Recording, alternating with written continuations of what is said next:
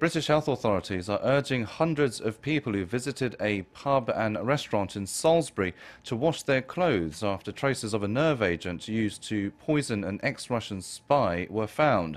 Sergei Skripal and his daughter, who remain in critical condition, were said to have eaten at the Italian restaurant Zizzi earlier this month, with traces also found at the Mill pub. Furniture from both locations have all been destroyed and the premises may be closed for a few weeks. Health authorities said there was little risk of harm to fellow diners but added that possessions should be washed as a precaution.